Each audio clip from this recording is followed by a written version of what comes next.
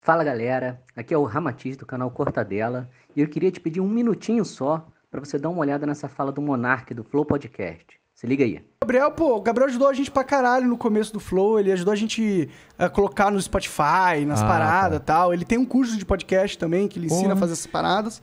E, pô, ajudou a gente pra caralho. Agora imagino que ele deve estar trabalhando bastante, né? Imagino que sim, né? O Monark tá falando desse rapazinho aí, ó. O nome dele é Gabriel Tuller. E ele tem um curso chamado Crie Seu Próprio Podcast que já ajudou a várias pessoas a entrar nesse ramo tão competitivo. Então, se você está querendo começar o seu podcast, comece do jeito certo. Link para o curso vai estar na descrição do vídeo, beleza? Valeu! Cara, esse negócio, você falou, você tá mais próximo lá, né, em Madrid e tudo. É, o que, o que aconteceu com o Barcelona? Foi uma crise de gestão lá, né? Total. Porque, como é? Porque a gente, aqui no Brasil, a gente fica assustado, né? Porque, por exemplo, aconteceu o que aconteceu com o Cruzeiro, né? Mas aí você imagina coisa de anos, dívida, futebol brasileiro. Só que a gente vê acontecer com um clube como o Barcelona, a gente fala, cara, o nosso clube pode implodir a qualquer momento aqui, né? Com, se o Barcelona tá passando por isso, né? É, mas é, é gestão, gestão. é, Alguma das vezes, eu não quero dizer casos específicos, mas muitos clubes têm histórico de gestão fraudulenta. É, corrupção nos clubes mesmo, o problema. É opção de gestão, não o clube. A, a clube instituição, não, é a cara. instituição, é, é. A instituição, ela, ela é vítima, né, cara? Claro. É, porque o Barcelona não tem dono, né? Não tem dono, isso Não que eu ia tem, né? perguntar. Donos ele são aquele- sócios. Né? sócios, E é. os sócios votam em assembleia todo ano para ver quem Entendi. bota o, lá para ser o presidente. Mas mesmo assim não tá dando certo esse sistema, pare- parece. né? É, agora sistema- mudou o presidente agora e ele tá que- tentando dar um jeito lá, né? É, mas também não, não é clara as dívidas dos clubes também. O do Barcelona eu não sei dizer exatamente o que é, mas os controles que nós temos na liga hoje é impossível você gastar o que você não tem. Isso, então pode ser dívida do passado, não sei de quando, pode ser juros de não sei o quê, enfim, Entendi. pode ser mil coisas, mas não da gestão atual, porque lá, se eu faturo 50 milhões de euros, eu só posso gastar 50 milhões de euros. Eu não posso gastar um centavo mais do que isso. Não pode pegar empréstimos milionários não, e fazer? pode, não pode. não pode. Porra, parece pé no chão isso daí, né? O jeito certo de gerir a parada, né? Exato, exato. É, é a gestão sustentável. E isso vai chegar no Brasil. É o fair play financeiro. Quanto tempo você acha que demora pro, pro brasileiro acordar pra essa nova realidade? Cara, isso tem que ser rápido, né, cara?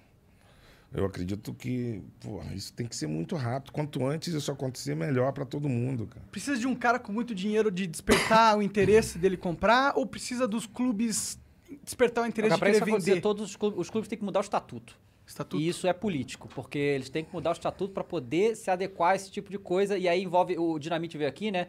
E ele falou que na época ele era presidente do Vasco, ele conseguiu fazer um monte de coisa por causa de picuinha política dentro do clube, sabe? E aí, e aí isso tem muito ah, no Brasil. É, Cara, então, o sistema brasileiro dos clubes é um sistema que é feito para não funcionar. Uhum. É, eu vou levar porrada por isso, com certeza, mas não me importa, é obsoleto total. Imagina um clube com 400 conselheiros. Uhum. Porra! é. Todos os clubes grandes têm 400 ou mais, hein? Nossa. Como é que tu decide alguma coisa, cara? Imagina a política disso no dia a dia. Oh, eu quero fulano, ciclano, ou quero fazer isso, eu tenho que passar no conselho. Tem clube que tem corregedoria sei, é, dentro do próprio clube, que faz, é, investiga as ações do... Vira um, vira um negócio tipo um estado, um estadinho, né? É, tipo um estado. é. A É, prefeitura cara, ali, mas- né?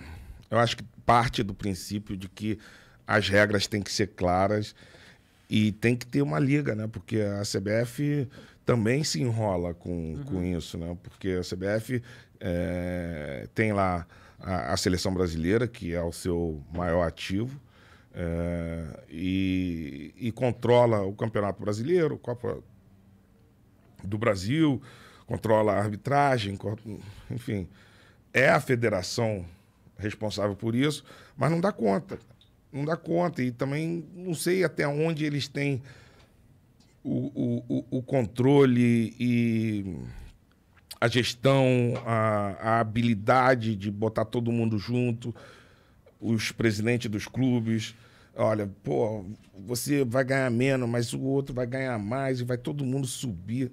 Eu acho que tem que ter uma união muito maior na, no futebol, na indústria do futebol como um todo, né? E, e- e- e esperar que a liga é, possa sair, porque eu não vejo, não vejo outra, outra maneira da indústria do futebol brasileiro melhorar. É, eu acho que, tem que temos que ter as regras bem claras, né, de que é, para poder respeitar, né, poder fazer a gestão sustentável e aí cada um tem o seu limite, cada um gasta até onde pode.